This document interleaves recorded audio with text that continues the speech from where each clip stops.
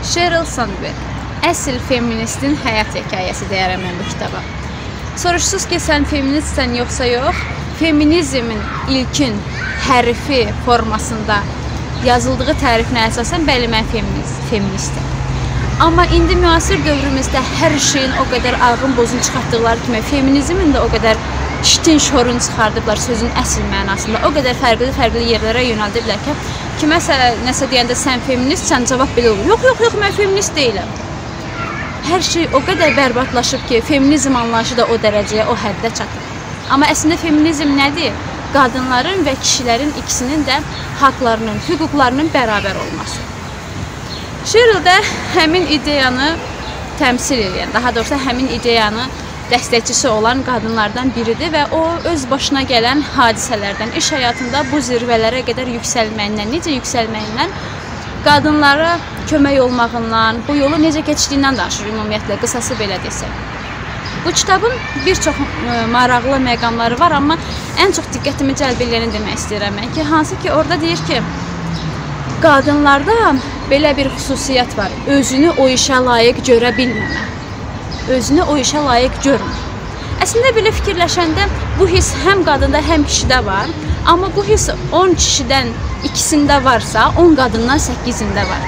Özün o yerə layiq görə bilmir. Özün yalançı hesab edir. Aldığı tərifləri, aldığı e, qələbəni belə deyək, yüksəlişi yalançılıqla ittiham edir özün ki, yox mən buna layiq deyildim. Bu hissin aradan qaldırılmasından söz açır ki, siz başa düşün, siz buna layiqsiniz. Hamı kimi sizin də buna haqqınız çatır və siz bunu bacardınız, elədiniz və öz əziyyətinizlə, öz zəhmətinizlə gəlib bu yerdə dayanmısınız.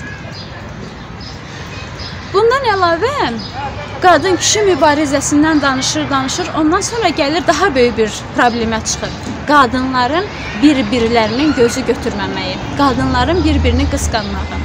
Deyir onsuz da bu dünyada kişilər qadınları sıxışdırırlar. Biznes həyatından danışır ümumiyyətlə. Biznesdə onsuz da deyir qadın, kişilər qadınları sıxışdırıb çıxartmağa çalışırlar. Hələ bir də güclü qadın, hansısa bir lider qadın o biri qadının ayağının altını qazırsa, onu sıxışdırıb çıxartmağa çalışırsa, onda biz heç vaxt gözləyə bilmərik ki, biznesin hansısa bir 50%-in qadın idarə eləsin, şirkətlərin hansısa bir 50%-ində başda qadınlar dursun.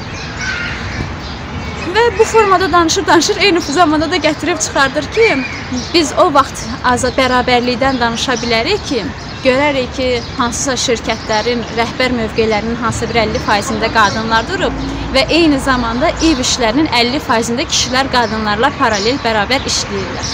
Mən əslində bu mövzuda heç fikirləşməmişdim. Həqiqətən fikirləşməmişdim. Problem də elə oldu ki, bizim düşüncəmizə heç gəlib çıxmır bu. Bu kitabı oxuyandan sonra başa düşəndə ki, ABŞ-da vəziyyət belədirsə, gör bizim kimi ölkələrdə vəziyyət necədir.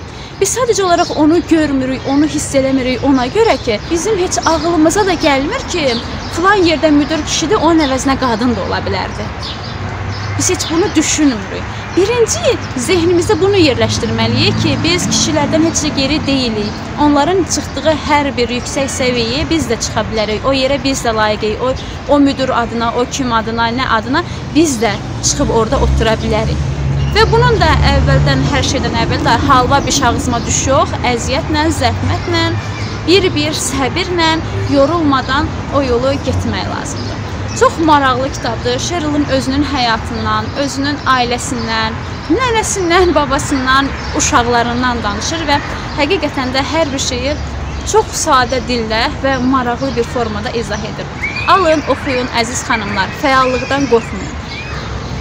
Və bir də onu əlavə eləmək istəyirəm ki, bizim elə bir məcburiyyətimiz yoxdur ki, biz ideal olaq. Bizim elə bir öhdəçiliyimiz yoxdur və biz ideal da ola bilmərik. Bizdən heç kim onu tələb eləyə bilməz ki, hər şeyin möhtəşəm olsun, mükəmməl olsun. Sən eyni zamanda möhtəşəm bir ev qadını ol, eyni zamanda uşaqlara möhtəşəm bir ana ol, möhtəşəm bir həyat yoldaşı ol, möhtəşəm bir iş qadını ol, möhtəşəm bir gəlin ol, qonşu ol, hər nəsə. Hamısının bir tərəfində mütləq ki, qısa da, kiçik də, böyük də fərqi yoxdur, axsaqlıqlar olacaq. Və bu o demək deyil ki, biz hər şeyi bərbad eləyirik, biz hər şeyi heç nəyə çatdırmırıq, nə bilim yerinə yetirmirik. Ay bunu eləmədim, o qaldı. Gün bitəndə bunlara köklənmək lazım deyil ki, bu gün filan şey planlaşdırmışdım, filan şeyi eləmədim. Yox. Bu gün nəyisə eləməyi planlaşdırmışıqsa, axşam gün bitəndə elədiklərimizə bir quş qoyaq belə bilək ki, bu gün bu gün bunu elədim. Halal olsun mənə. Mən bunu bacarıram. Bunu beynimizə yeridək. Bizim ideal olmaq kimi bir öhdəçiliyimiz yoxdur. Biz də hamı kimi normal insanıq, robot deyilik və istədiyimiz məqsədə də hamı kimi biz də gedib çata bilərik. Bu kitabı xanımlardan əlavə həm də kişilər oxusun. Niyə? Öz həyat yoldaşlarının, öz analarının, bacılarının, iş yoldaşları olan xanımların gündəlik həyatdakı çətinliklərini görsünlər. Heç olmasa onlara bir əl uzatsınlar, bir dəstək olsunlar, qadınların nələr çəkdiyini, nələr yaşadığını görsünlər. Alın, oxuyun. Məncə sizin də məncə sizin də bəyənəcəyiniz kitablardan biri olacaq. Hər birinizə xoş mütaliələr. Çox sağ olun.